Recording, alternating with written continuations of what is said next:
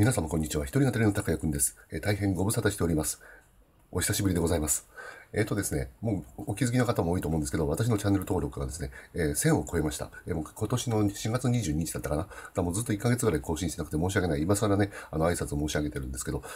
で、やっぱり皆様にありがとうございましたというのは、え簡単に誰でも言えるんですよ。でも、その理由がなければ、えそこにですね、皆様のところに私の心が届かないと思うんですね。えちゃんと今回はですね、その理由をね、あの、も、述べさせていただこうと思うわけであります。えまず一つ目はですね、私1000超えてから、その 1000, 1000を超えるっていう意味がよく分かってなかったんですよ。最初動画始めた時にも、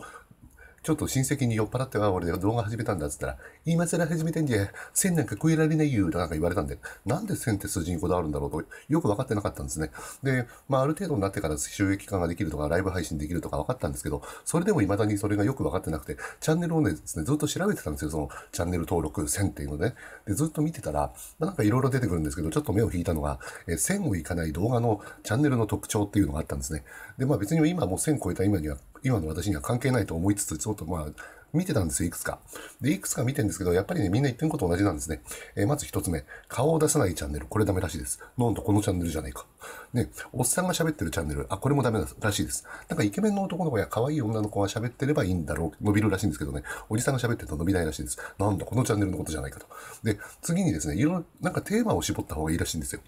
鉄道なら鉄道、家電なら家電とかね。うんいろいろ手出しちゃうとダメらしいんですよ。またまた俺のチャンネルに当てはまってんじゃないかということでですね、いちいちいちいち、1000まで超えられない動画のチャンネルの特徴というのがですね、私の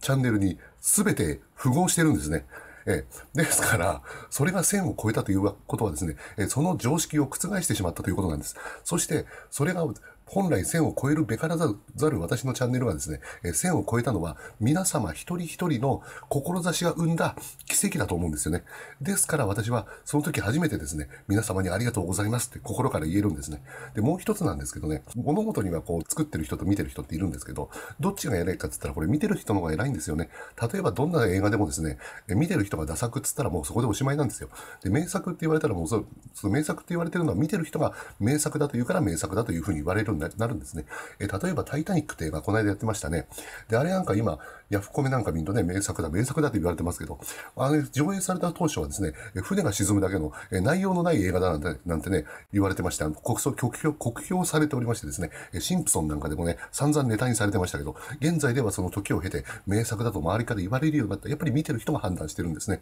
これあの、藤子不二雄 A 先生も言ってました。どんなに、えーいい漫画を書いても、読者がつまんないって言っちゃったらおしまい。だから読者がプロだと、えー週刊少年鍵括弧という番組で言っておりました。やはり間違いないと思うんです。見てる人が判断してくるくださることだと思ってるんで、えーこれからも私いろいろこう動画やってきますけど、やっぱりね、見てる方にこう判断していただけたらと思ってるわけです。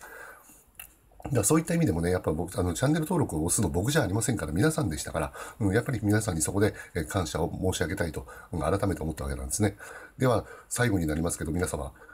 ありがとうございました。そして、これからもよろしくお願いいたします。